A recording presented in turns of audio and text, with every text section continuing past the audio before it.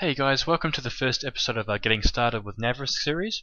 We've created this series of videos to help you set up the basic features within your new Naverisk platform.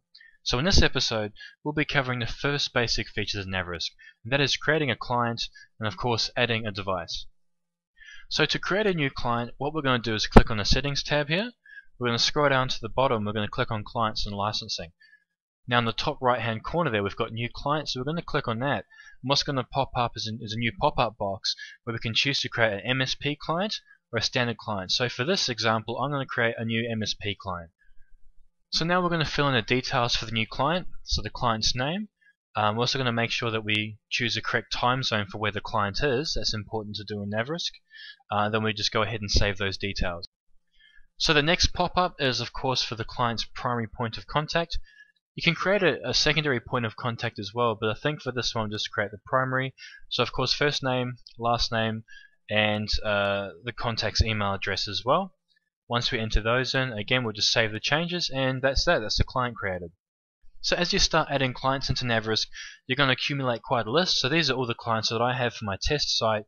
Uh, if we click on the green edit arrow there, uh, you can see that these are the actual details, um, editable details of the client. Uh, so you can come in and update any, any details that you need for that. So now we're going to go over to devices.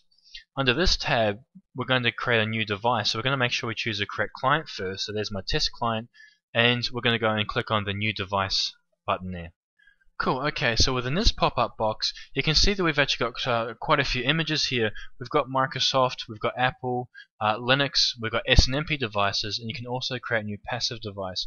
But for this exercise, we're just going to go and uh, click on the, the Windows image, and we're going to download that image to our PC. So you can choose preferred network controller to download the image from. Now a network controller is what your device is actually going to connect to. So like I said, simply select the preferred network controller, and just click on download agent. Cool, so as you can see in the left hand corner there, my agent's finished downloading. We're going to click on that. I'm just going to press any button. And that's going to install the Naverisk agent on my device, and you can see straight away my device has popped up in Naverisk there. So there we go. We have successfully created a new client in Naverisk, and we have successfully added in a Windows device. Now, in the next episode, we'll be looking at the basic aspects of monitoring and alerting using the Naverisk platform. See you later, guys.